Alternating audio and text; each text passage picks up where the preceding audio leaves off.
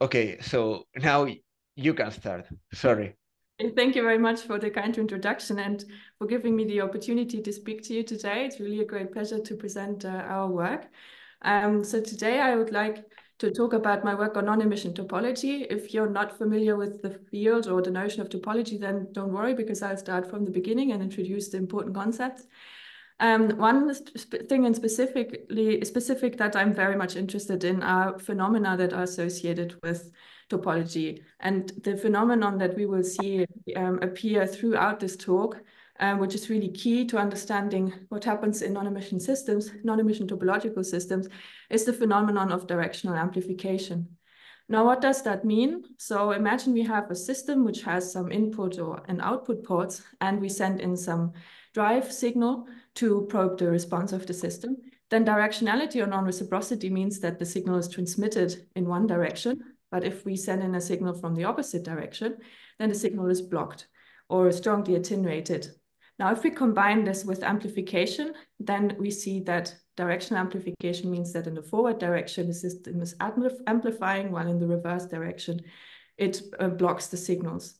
And as you can imagine, this is actually highly sought after for applications. So for example, in quantum information processing applications, um, this, this can come in very useful because you can read out very fragile sources while protecting the source against noise or backscattering. So imagine you want to read out a superconducting qubit, then the direction amplification would allow you to do this while making sure that your qubit is not tampered with. Okay, so this is what a direction amplification is about. So what about topology? And here let's start at the beginning. Um, to, in mathematics, topology characterizes um, properties of geometric shapes. And a very famous example in topology, um, especially when physicists talk about this, is the so-called genus. And here you can see a, as an illustration of the genus. Um, the genus basically just counts the number of holes in a two-dimensional surface. So a ball would have a genus of zero, whereas a torus or a cup both have a genus of one, because you can deform one into the other without tearing any holes into it or patching any holes. Um, however, this is distinct from a two torus and so on. And so this is really a global property of, of your shape. And the remarkable thing is that um, many complex physical systems can actually be understood in terms of some underlying topological topology that arises in the description. And very famous is the quantum Hall effect, um, in, that is, has been extensively studied over uh, in condensed matter physics. Um, the, so for example, in, in some materials, when you put them in a magnetic field and you measure the resistance along a certain axis, you will see that the resistance is quantized. And you see these this in these uh, discrete steps. And these discrete steps are actually due to a topological invariant. So actually the measurable response of the system only depends on the topological properties of the system and some fundamental constants. So it doesn't actually depend on the microscopic details of the model. Another really interesting thing that is associated with topology, topology in physical, uh, in condensed matter systems are the so-called edge states. So here you can see an example in two dimensions um, where the state localizes only at the system edge. And this is even robust to defects. So for example, here the crystal is not perfect, but still you have an edge state. And because of these very interesting uh, properties and, and really, uh, yeah, the robustness and these edge states, a lot of uh, effort has been devoted to recreating these topological systems, these topological insulators, how they are called, in other settings, such as photonics. And this has given rise to the field of, of topological photonics. So for example, um, one could imagine combining photonic crystals with different topological invariants. And at the interface, you will see that light uh, will be confined and you can actually use this to guide light through um, your photonic crystal. You could also um, use the edge state and combine this with some um, amplification process, such as two-mode squeezing. And then you can imagine building traveling wave amplifiers, which are robust against disorder and, and backscattering. Or you can pump the edge, and then you end up with a topological laser. However, all of these systems have in common that they are no longer closed systems. Remember, we came from condensed matter systems, uh, electronic systems, but now these systems all exhibit losses, and then in some cases even gain, such as the amplifier or the laser. So now we can ask what happens to the topology um, in the presence of gain and loss? Um, or is there even a new notion of topology in the presence of gain and loss? And that is exactly the idea behind this field of non-Hermitian topology. You take a system that is that is losses that can ex ex experience gain and loss. You define an object that is effectively non-Hermitian. You will see how you, this can be done in a second. And then you ask uh, about mathematical properties of this non-Hermitian object and how can this be connected to something that we can measure. So how can this be done? So that's you're probably familiar with uh, master equation, the master equation to model um, open quantum system. One um, approach that can be employed here is to write down the master equation. So here you have the coherent um, part of the evolution, and here you have the part that models gain and loss. So these L, these jump operators, they could model um, losses from the system or, or gain or um, any other kinds of um, engineered dissipation, which we will see some examples later on. And you can reorder those terms such that you end up with the right-hand side of this equation. Um, and then you you see that first you have this um, evolution here under some effectively non-Hermitian uh, operator. Um, so you, you get this anti uh, this commutator here. Except, well, except it's not an, an, a commutator because you have the dagger here. And then you get the jump term. And then some people say that if you monitor your evolution, so you, you basically look at the conditional evolution, you make sure that no jump has occurred, then you can study the evolution as if it had only evolved under this effective non-Hermitian operator. But as you can imagine, this requires some special care because you have to monitor and make sure you only select the trajectories when no jump has occurred. So there is another approach. This is the approach I will be adopting here. We can take the master equation and then we can um, calculate expectation values for field operators. So imagine you have a system of cavities that are coupled, and then these A, operators describe your cavity fields, and then you look at the uh, evolution equation of expectation values, and if your Hamiltonian was bilinear in your um, operators and the, uh, um, the dissipators were linear, then you end up with a linear equation of motion for your mean fields. And we also include another contribution here, which is our drive or our probe, um, and to which we ultimately record the system response. So this is what we will be looking at here, and you will see a ex concrete example um, right, right away. So now we, we have understood how um, we can arrive at some effective non-Hermitian object. Here we've introduced this in form of this matrix, is non-Hermitian matrix H, um, which we also call dynamic matrix. So now let's understand how we can um, engineer non-Hermitian systems or where we actually find interesting um, dynamics. And in the, in the same context, we will also understand where non-reciprocity and directional amplification come from. So let's start from a very simple system. Um, here, this is a system of three cavities that are coupled or simply bosonic modes that are coupled via hopping. So, and um, the crucial thing to observe here is that there's actually a phase difference between the, the hopping here at the top and the hopping via this auxiliary mode C. So here the phase is included here in this hopping. And because of this phase difference, this actually means that there can be interference, constructive and destructive interference, depending on which direction you hop. Um, and we will see this now in the equation of motion uh, very clearly. But first, let us assume that this mode C is very lossy. So we can actually eliminate them adiabatically from the equations of motion. And that actually gives rise to a so-called non-local dissipator that we can plug in into our master equation. So you see that essentially what it means is you can hop from one to two, but then there's also a chance of uh, decay. And then here the phase difference is encoded here as well. Okay, so what do the equations of motion look like? Um, so for the mean fields. So here first we have some local losses, which come both from the local dissipation that we automatically assume because we want to probe the system and couple waveguides to system. So this induces losses. Um, and on the other hand, we also have local losses from the non-local dissipator. And then we have the coherent coupling to the to between um, that uh, facilitates the coupling between the two modes. But we also have the dissipative coupling. And here we, we notice that actually the, the phase now enters with a different sign. So this makes it possible for us to create this interference that I talked to you about. and by specifically by setting theta equal to pi over 2 and j equal to gamma half, we can actually eliminate the coupling from one of these equations completely. So um, A1 is now completely isolated from anything that happens in, um, in, uh, in mode 2, but mode 2 is driven by what happens in mode 1.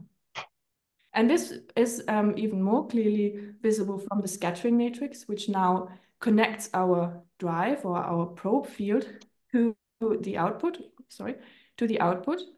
Um, this is so this is the scattering matrix, and with a suitable choice of parameters, actually the scattering matrix takes a very simple form. So here you can see that actually anything that comes from cavity one is transmitted to cavity two, but not versa. So this is a very uh, simple example for a so-called isolator that was already proposed in this very nice paper by Anja Metelmann and Ash Clerk. So if you're interested in this type of physics, then I would recommend you have a look at this paper. And now we make a modification to the system. We introduce an incoherent pump. So that you can imagine that um, if you're asking about the physics behind an incoherent pump, you could imagine that you get an incoherent pump simply by coupling to another mode via two-mode squeezing, which is also lossy. And when you eliminate them from the equation of motions, this basically looks like anti-damping. Or in the master equation, you could write it as a dissipator of A dagger. Now everything else stays the same. So the only thing that, oh, sorry about this. So the only thing that happens is that in the scattering matrix, replace the unit transmission by the square root of an amplification gain.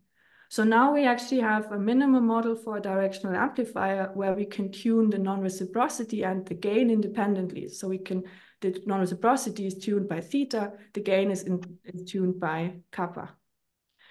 So now let's ask what happens when we scale this up and we combine multiple such um, minimal directional amplifiers to a chain of length n. Um, and we can do the same thing again. We can write down the equations of motion, only that now we have um, a left neighbor and a right neighbor. And we see already here that there's this asymmetry that we saw before as well. So now when we write this in this more abstract form of a matrix vector multiplication, our dynamic matrix H is clearly non-Hermitian. And so to understand this, what happens now with the scattering response in general, we need to understand uh, our dynamic matrix better. Or to be more specific, we need to understand the inverse of the dynamic matrix because you see, this is how the scattering matrix is de defined. It's essentially the inverse. Or if you're more used to working with Green's function, then this contribution here, you can also say that this is the Green's function of the system. And by the way, this system was also nicely discussed in Diego's work, uh, which I'd like to mention here. So if you would like to see get another uh, view on this, then I would also recommend that you check out his paper. So now how can we understand this? Um, so here we can do the same thing as you would do in a condensed matter system. You can go to periodic boundary conditions, and because we assume translational invariance, the system is actually diagonal in a plane wave basis. And what we find is that because of the translational invariance, actually the spectrum falls on a closed curve. Um, this closed curve h of k. And this closed curve, this actually, it, it opens up a loop, which is due to the non-hermiticity of the system. And now we can use this loop to define a winding number, which will now be our topological invariant in the system. And we basically just count how many times h of k winds around the origin. So this uh, line would wind once, the other two, they don't wind at all. And what we've been able to prove is that when you go now from periodic back to open boundary conditions, then a non-zero uh, winding number is in one-to-one -one correspondence with directional amplification. And this has actually a very intuitive, um, uh, so while we prove this rigorously in the paper, this has also a very intuitive um, explanation. So because we have to fulfill two requirements to get a non-trivial winding number. So first, we have to open up this loop. And it is actually quite straightforward to show that this loop opens up when we have a non-vanishing theta, when we have non-reciprocity in the system. So that's the first ingredient. The other ingredient is that we require some positive imaginary part of our eigenvalues in order to encircle the origin. But actually that means that the system is dynamically unstable under periodic boundary conditions. So now if we um, think about what this means is under periodic boundary conditions, this means that actually the um, excitations would hop around this ring um, with a preferential direction, so in a, a directionally, and the um, field amplitude would grow exponentially with time.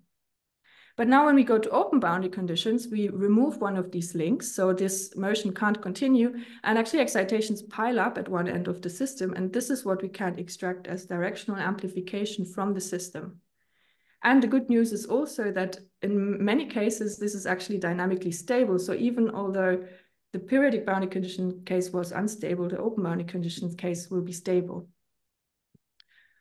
So the way we show this in the paper is that we actually derive a decomposition for the scattering matrix, where we identify um, one the, this as the dominant contribution, and then there are some small corrections.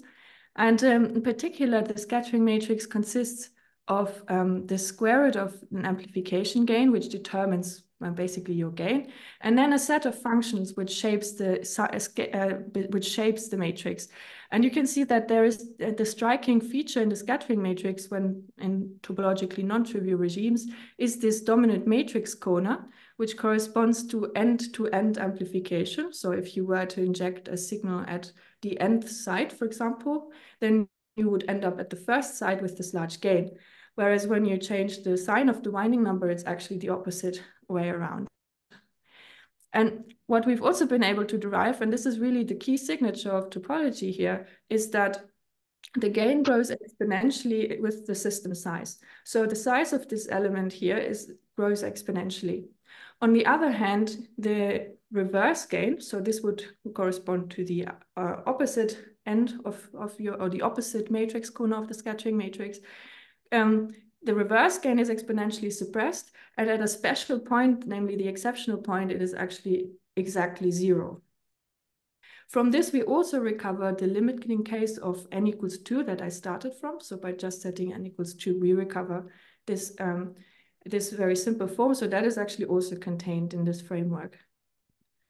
So this is again how what this what this would look like um, in a topologically non-trivial uh, phase. So we would inject a signal here at the end side and we get a large response at the other end. And in fact, this response grows exponentially across the system. On the other hand, now in the trivial case, um, we actually get the largest response close to where we sent in our probe signal. So, and, and then there's actually an exponential decay across the system. So here you can see this again in a topological phase diagram so that you really see that, uh, that this is actually a phase diagram for the scattering response of the system. And actually the phase diagram is only defined in terms of two parameters here. It's the ratio between the dissipative coupling and local dissipation. So that would be the, the strength of this uh, non-local dissipator that I showed you before and the non-reciprocal phase. Um, in particular, we obtain these two phases where the winding number is uh, non-zero, and you can see this typical form of the scattering matrix here with the dominant matrix corner, and there's also a large gain associated with it, um, while all the rest is trivial. And you can see that we can still have non-reciprocity in the system, so the scattering matrix can still be asymmetric, as you can see here, but there is no meaningful gain. Um, or in some special cases, so when the theta is pi or zero, actually the scattering response is symmetric. So we are, the, there's, this is what we would call reciprocity. And then I also mentioned dynamic stability, which is of course very important if we want to actually build a device out of this. Um, anything that is to the left of the gray line is stable. So there's actually a very nice overlap between the stable regime and the topologically non-trivial regime, which is what we would want for applications. We also invest. Clara, so, uh, so one question. Sure. But, uh, uh, when you put there the exceptional point, why there there is no amplification? You said the gain was uh, one. Ah, no, the, uh, there is gain. Uh, there is amplification at the exceptional point. It's just that, um, so you're probably asking about this. Oh, this, zero. Ah. Yeah, this is the the opposite uh, corner. So this is what goes into the reverse direction. So if ah. you're at an exceptional point, then you would just find that what you get in the reverse direction is exponentially small. But if you're exactly at the exceptional point, it is uh, independent of system size and it's exactly zero. So this is very nice if you want to build a device, for example. Um, uh, ah, is this like the optimal point, you say? Yeah, it's inside, exactly. But you see, if, if you make your system larger, then it actually doesn't matter so much because then, you know, it becomes exponentially small. And so typically in experiments, you wouldn't hit zero exactly anyway. And so then, um, yeah, uh, that so then it, it doesn't actually become that important anymore. It's also interesting to note that the exceptional point is not necessarily associated with non-trivial topology because you see the phase diagram is only um, defined in terms of dissipative coupling and non-reciprocity.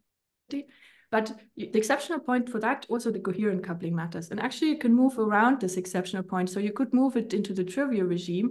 Then you would have isolation. So you would have non-reciprocal transmission, but you wouldn't have actually have amplification. So you have a little bit of freedom with the exceptional point here. So you mm. can use it in the way that works best for you.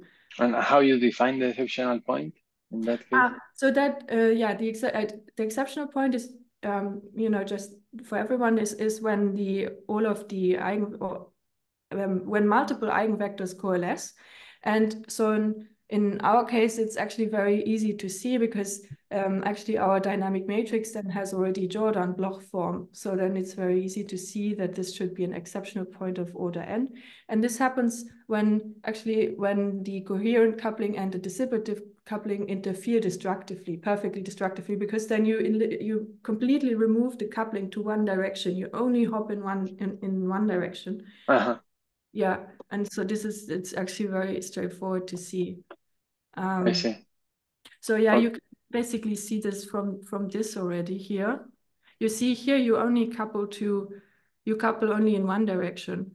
So this is now a try. If you write it in matrix form, it's a triangular matrix. So that already kind of shows you that that this that there should be exception an exceptional point here. You can also see it in the scattering matrix. Mm -hmm. I see. I see. Thank you. Very clear.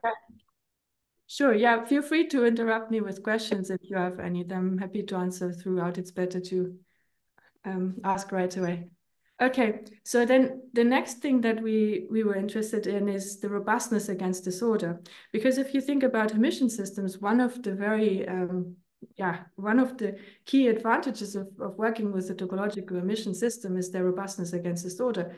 But a priori, we don't know anything about what happens in this system. So um, and we found actually a very uh, clear picture that explains what happens. Um, so without disorder, the spectrum of our, of our system under periodic boundary conditions falls on this green dashed line here. And now we assumed disorder that is bounded, but that's just for the calculations. We can also extend this to more general settings. Um, so and when the disorder is bounded, then what we can show is that now the spectrum of any disordered realization falls in this green um, region here that I sketched, where this W is, is the disorder strength. Now, this could be local disorder, but it also extends to disorder in the couplings, for example. And now what we've been able to show is that when the bounds of the this region um, do not cross the origin. So in this case, for example, the, the green um, bound is still um, to the right side of the origin. So it would have, if we were to calculate the winding number for the bound, it would have the same winding number as the green dashed line. Then when this is the case, then we can be sure, even though we cannot define a winding number for the disordered system, that the response that we get always corresponds to um, the one that we would get in a non-trivial system. So we would see this directional amplification across the system. On the other hand, when the disorder is too strong, so that the inner bound in this case has moved across the origin, then we can't be sure. So in some cases, we will actually sample something that looks like a trivial response, so like the response of a trivial system. But in other cases, we would get lucky and still find the directional amplification. So this gives us actually a very nice criterion to decide whether a system, well, basically to say how robust the system is. And also we can influence this separation between the spectrum and the point uh, and, the, and the origin to make sure that um, it's the system is sufficiently robust against disorder.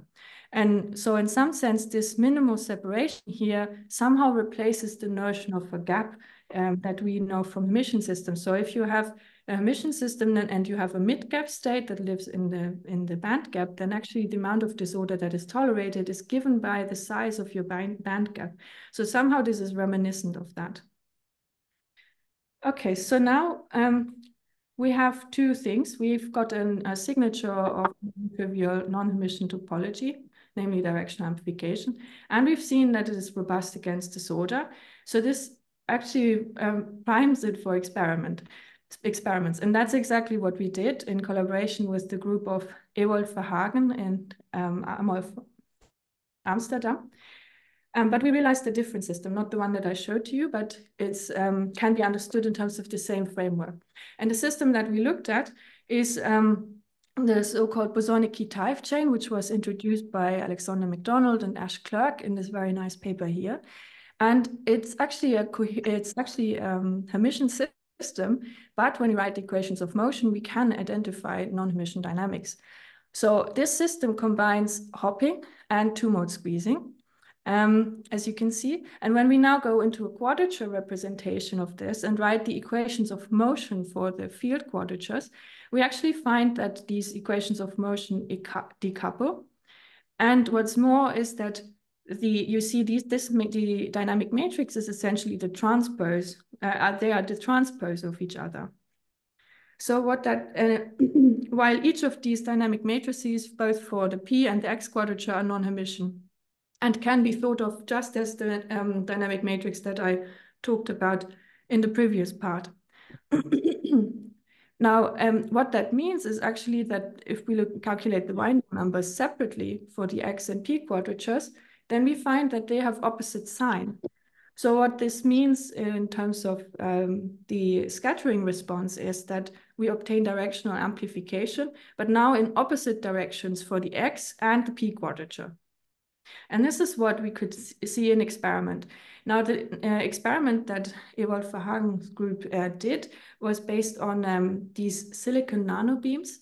Um, they, they, they have um, that this is an optomechanical system. So they have these silicon nanobeams, they are really small. You can see here on the order of a couple of micrometers. Um, they have certain vibration eigenmodes. And here you can see the different um, eigenmodes, so the different deformations of this nanobeam. And these occur at different frequencies. And so the, on the other hand, um, this nanobeam also serves as a nano cavity because light can be reflected back and forth here in this comb structure. And this can actually interact with the mechanical vibrations of the system. And they, so now you can actually drive the system at uh, specific frequencies and induce couplings in this synthetic frequency space. And in this way, you can assemble a non-Hermitian chain if that exact or exactly the bosonic Kitaev chain that I introduced on the previous slide. So if you drive on at the difference frequencies of these two um, um, um, free, uh, vibration modes, then you will induce hopping between those um, different frequencies. Whereas when you drive at the sum of the frequency, um, you obtain two-mode squeezing. And in this way, you can exactly um, replicate your chain. But I would also like to stress that this is all just built with one of these nanobeams, and it really is a chain that lives in this synthetic frequency uh, space.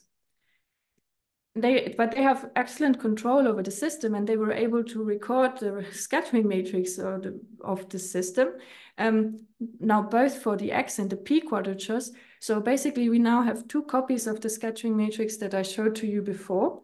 Um, so if we wanted to um, recover the scattering matrix we had before, we should just look at one of these matrix blocks. And in speci specifically here in the non-trivial case, um, we see this dominant matrix corner, um, which uh, is at opposite ends for X and P, as we would expect, because the um, winding numbers have opposite sign. Then in the trivial case, we see we still have non-reciprocity, but there the actually the gain drops off exponentially across the system. And then at the transition, the response is essentially flat.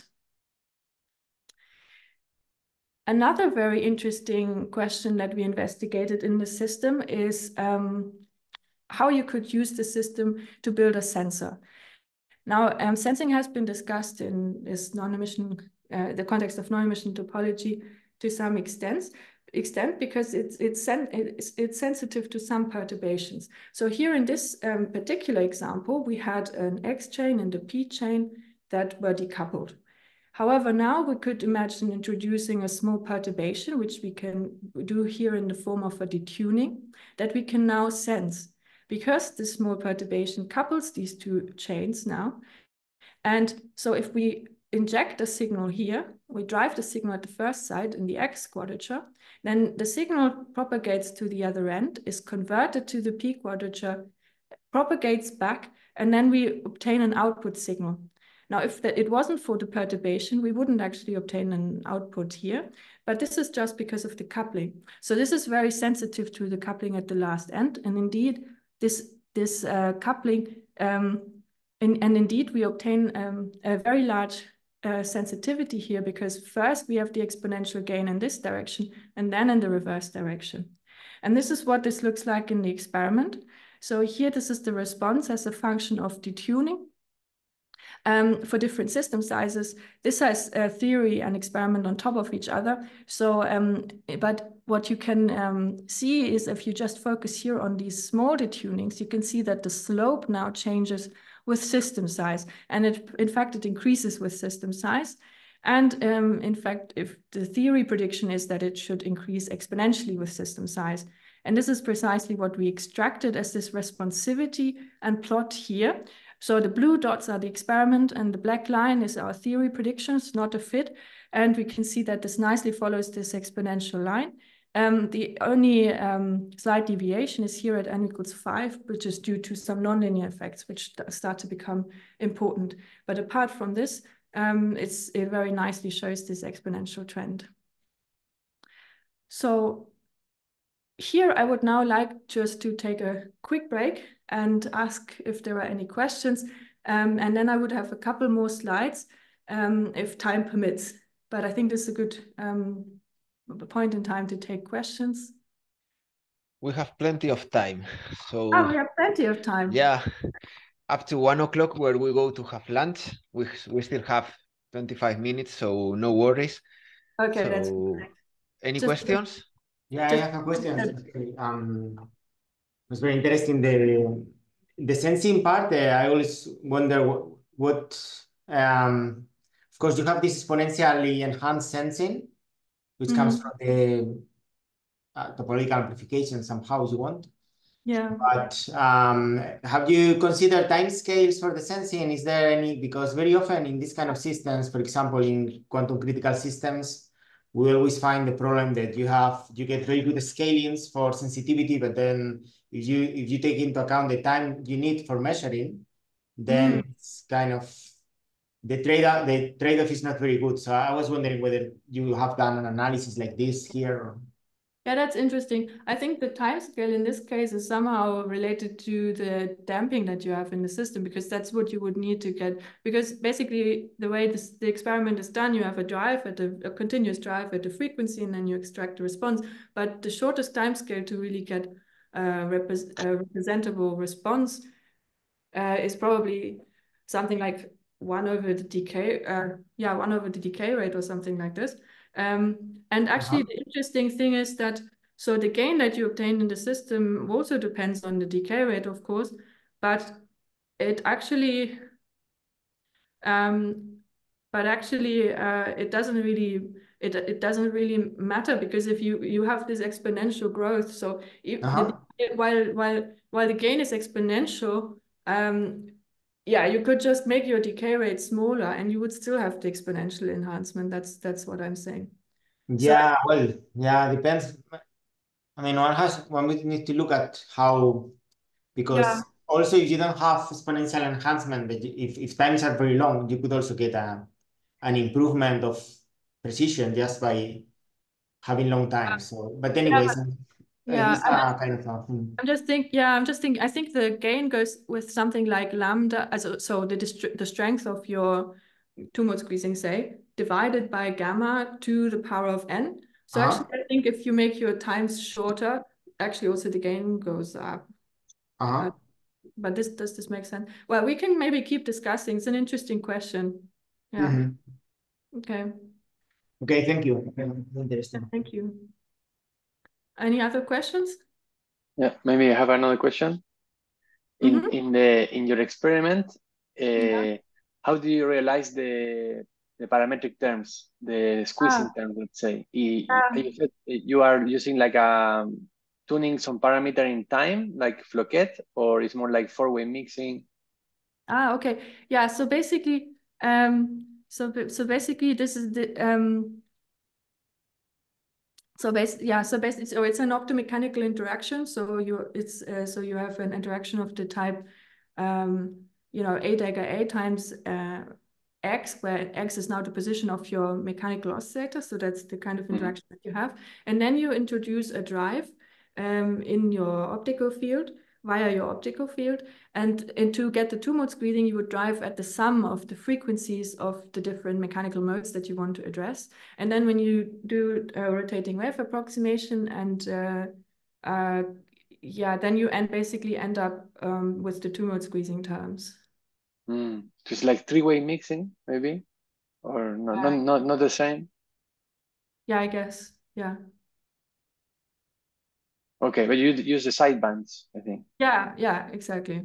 Okay, okay, thank you. There is more information in um, on Yeah. on the derivation of this in one of the previous papers by um, by Ewold. So if you look at the same uh, authors, there it's um, it's a Nature paper where they have a supplementary and they do, do the derivation. I can also send it to you if you're interested. I see. Okay, yes, thanks. Yeah, I- would like to ask you also something about the, the experiment. So, I, if I understand well, this is, is more or less in a classical regime Mhm. uh, of the. But is there is there any way to make it uh, quantum or or um or, or some way of scaling it up in some way towards the quantum regime? Is this something that people have in mind or? Yeah, I I think Ewold is probably the better person to ask about this, but one thing I can Ah. say is that this is still at room temperature, so I suppose something could be gained already by putting this into a cryostat. Um, Okay. um, Okay. But this, this is, you this are point is still at room temperature, so this would be very classical, as you pointed out. Mhm. I think it's, yeah. Okay, nice. Okay, so yeah, maybe then we can continue. Um, in the remaining time, I wanted to um, make the connection to another um, very important question in the field of uh, non-Hermitian physics and make the connection to this. But I would also like to make the connection to Diego's very nice work on the topic so that we now have a complete picture essentially. And so one thing that is very much studied in the field of uh, non-Hermitian topology is the so-called non-Hermitian skin effect. Um, so the system that I talked about so far, um, basically I gave you physical recipes to engineer a system that have asymmetric hopping to the right and to the left. And that is what is of typically referred to as Hatano-Nelson model in the literature. And this has been extensively studied. Um, and what people found was that um, when the whenever the spe spectrum admit under periodic boundary condition admits a so-called point gap, meaning that there is a loop in the spectrum, but this loop does not necessarily have to wind around the origin, so it could be anywhere. So whenever the system is point gapped, what you see is that when you look at the eigenvectors of the system, they all localize at one uh, system edge. Now, it doesn't, it in more general cases, it doesn't have to be all of the eigenvectors, um, but typically there is this connection between this point gapped spectrum, so this is called point gap, and this uh, non-Hermitian skin effect. Now, on the other hand, um, the non-Hermitian skin effect also has been much debated because it actually prevents us from re-establishing a very important result it, that we know from Hermitian topological systems, which is the so-called bulk boundary correspondence. The bulk boundary correspondence relates the topological invariant to the number of localized um, states, or, or more generally speaking, eigenvectors. So, for example, um, if you have a, a, system that a Hermitian system that has a winding number of one, then you would uh, expect that you also get a number of localized states that is somehow related to this winding number. So for example, if you, if you this um, SSH model there, you would then get two localized uh, states. But clearly this does not hold here because here actually all of the states localize. So um, in the remaining time, I would like to address this question of what is the connection between direction amplification, what is the relation to the non-Hermitian skin effect, and what about the boundary correspondence. Um, and to do this, let's recap what we have so far. So far, I've mostly discussed this part here, where we have a non-trivial uh, winding number, and then this is connected to directional amplification. But what we could also see from what I previously discussed is that we have this other case of non-reciprocity, and that occurs when we have a loop in the spectrum, but it is not does not necessarily in, or, uh, encircle the origin. Then there's a third case where the spectrum degenerates into a line, and then we see reciprocity in the system. Now, this is an if and only if statement if we only have nearest neighbor couplings. If we are, if we go beyond that, then um, this is not only not no longer necessarily if and only if. It's a little bit more subtle. We also address this, uh, but for for now, let's keep let's um, just remember this picture.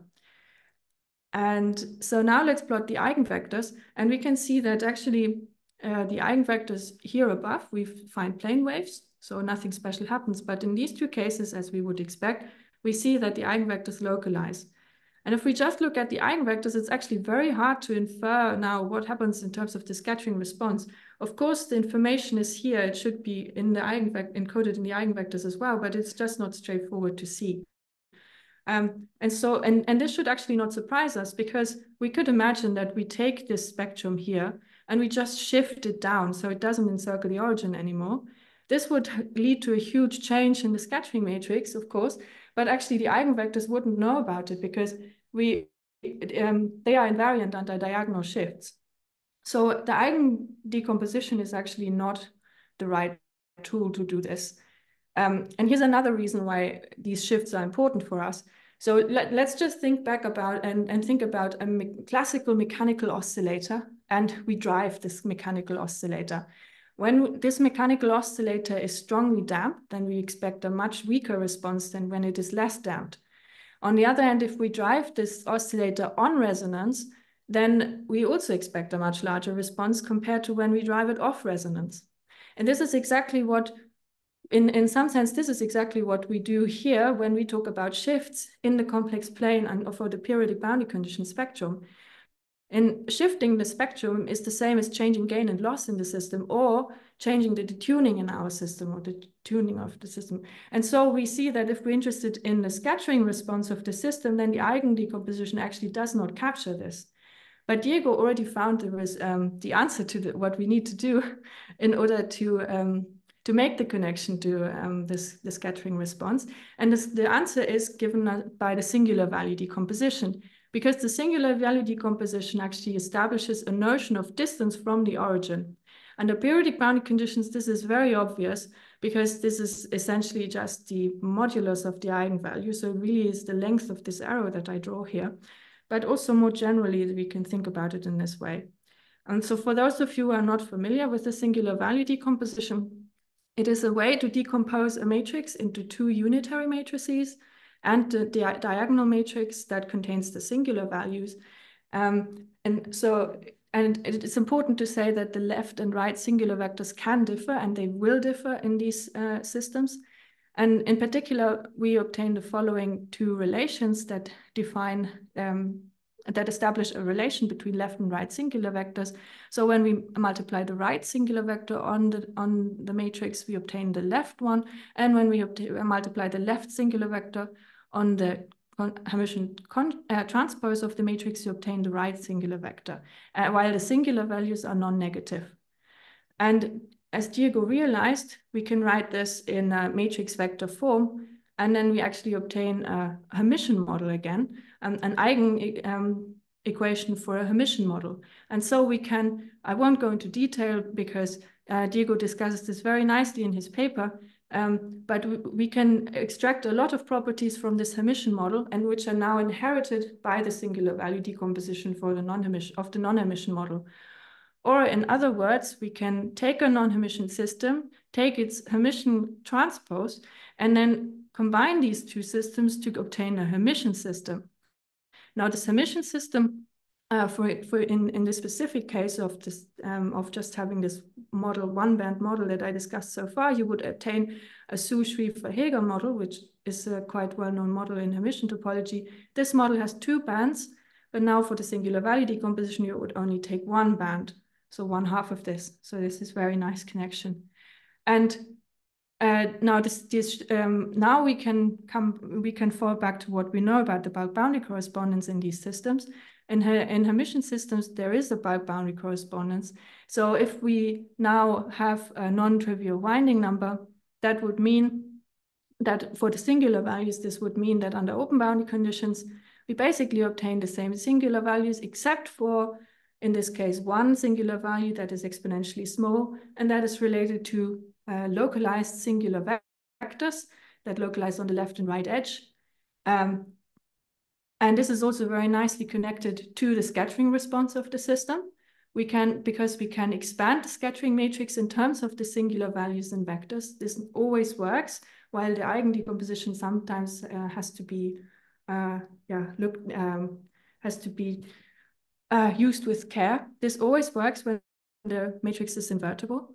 Um, and so because, because now there is this gap between these localized states and uh, localized singular vectors and uh, the, the bulk, so to say, we can actually say that only those, uh, only those um, localized um, singular vectors contribute, mainly contribute to the scattering matrix, and they give rise to this uh, form of the scattering matrix, which I've discussed so far. So in some, so it is basically the outer product of the localized singular vectors. And uh, in other words, we can also say that the winding number tells us how many channels for directional amplification we have in the system. And so if you're interested in, in more details about how the, what the singular value decomposition is, uh, can be used for, then I would really recommend that you look at Diego's work, um, also his other papers on the matter. But I, I this very nicely completes this, this picture so uh, that we now have um, um, understood um, how all of these different terms are related, how this how scattering response is related. Um, and um, I believe that the singular value decomposition is also a very powerful tool to go forward um, in this in this field. So, so here, this is now the uh, complete picture where we now see that the singular value decomposition nicely now also restores the boundary correspondence as we can, and it nicely um, only predicts these localized states when it encircles the origin, and this is very closely connected to the scattering response. So when you are interested in doing scattering experiments, then actually the singular value decomposition is the is a good tool to fall back on to analyze your system. Um, and with this, I would like to summarize what I've talked about today. First, I talked about this connection between um, non-trivial topology and directional amplification that is also robust in the presence of disorder. I also discussed the our new uh, experimental results um, in optomechanical systems. I briefly discussed this connection to other concepts such as the non-Hermitian skin effect and um, the singular value decomposition. And what I didn't talk about today, but if you're interested in non-reciprocity, I would um, I would also like to advertise this here. We also looked at um, directionality in systems that do not require break the breaking of time reversal symmetry, also uh, together with the experimental group of Ewold Verhagen. And we also analyzed this in the context of non-Hermitian lattices. So um, if you're interested in this, um, do have a look. Um, I would also like to take this opportunity to advertise a seminar series, which I'm helping organize. Uh, we haven't actually restarted after Christmas, but um, uh, if you're if you're interested in this, we have a lot of uh, videos also on YouTube already um, with interesting seminars on the in on non-Hermitian physics. Um, I would also like to thank, uh, thank my collaborators, um, Andreas, who uh, was my PhD supervisor in Cambridge, his former postdoc Matteo, and the experiment mentor team um, in the group of Ewold Verhagen. And with this, um, I would like to thank you for your attention, and I'm very happy to answer any remaining questions. Okay, Clara, thank you so much for such a wonderful talk. So now it's time for, for questions. Well, I have a um, question. So first, thank you for this nice overview of your work. It's a very, very interesting thing. And so like a lot this, I mean, this, this field is very, it's very, I think it's very interesting. This, all these, uh, also the experiments that you've been doing are also, and actually I, I would like to ask you about specifically whether you have been thinking about other experimental implementations in addition to the optomechanical. Well, there was this work recently by by the I think it was uh, Aash Clerk was in, involved with superconducting oh, yeah. as well. Yeah, yeah. I, I was wondering whether you do you have in mind any any implications of your work, uh, further implications for I mean larger systems, larger optomechanical systems, or other experimental platforms, or? Um, actually, there's another optomechanical experiment that would be probably a very a good a good playground to try these things out. Also going, for example, to higher dimensions and so on. So there's this um, uh, work by Tobias Kippenberg, and so far they've ah. realized Hermitian topological systems. But I think that this could also be a very nice platform to engineer non-Hermitian lattices because they do have um, they have quite a bit of control over, and they can engineer similarly to here. They can engineer two-mode squeezing and, and so on. So because if what you want from an experimental platform is for non-Hermitian topology, you need basically two ingredients. You need a way to engineer non-reciprocity. So that means you need some way to get interference. So in the first case I showed to you, this interference was this phase that I that I showed you. So it was a interference between paths but and in the second case with the bosonic Kitaev chain, it was an interference between different processes. It was an interference between two-mode squeezing and hopping. So you need you need so you need to be able to uh, engineer either of these. Um, and the third then the other ingredient is you need some source of gain because that is what allows you to ultimately yeah. circle the origin. So you will need a platform that allows you to do all of these things and to control all of these things, at least to you know a sufficient degree. And that's why I think optomechanics is a really nice platform because it allows you to do all of these things. But for mm -hmm. sure, one can also think about other settings. I mean, if you don't want to necessarily ultimately go quantum, you know, there are also topoelectric circuits. I mean, there you the, the, the maths is actually the same, the mathematics is the same, but the physics are very different.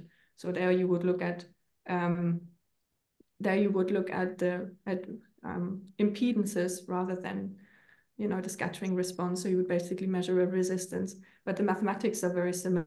Mm. Um, yeah, but yeah, I mean, if but uh, yeah, for me, optomechanical experiments, I, I, I think these are this is and, and because of, also because of the level of control that um that people already have. Yeah, sure. Yeah. I think for me the challenge is is having quantum effects together with the classical yeah. dynamics because of course everything that happens at the level of uh, um, dynamical matrix or uh, equations of motion for the coherences in the field is very interesting, but it's also, I mean, it's, it's, it's I mean, in essence, all the physics is there already, but it's, it's a bit of, really nice to go beyond that. But of course, this is, well. I, yeah, but I mean, um, I mean, uh, in principle, one could go quantum. Um, I mean, in the mechanics, there are experiments that that mm. are in the quantum regime, right? It's just that in this particular experiment, we did it at room temperature, but yeah. in principle, yeah, one one could think one could. It's it's not completely impossible, I think. Yeah, of course. Okay. Anyways, uh, very interesting work. Anyways, yeah. Thank you.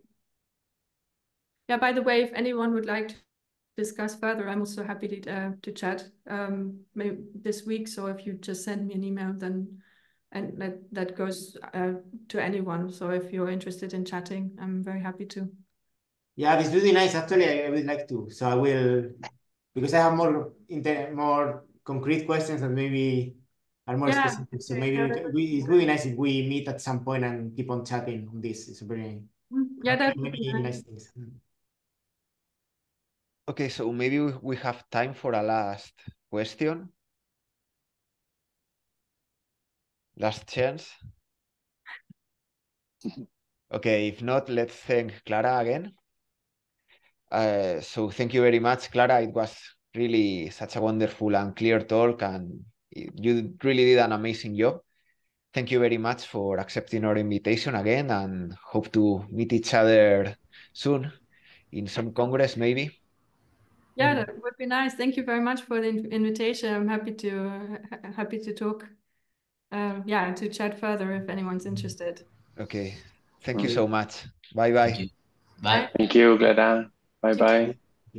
Thank you.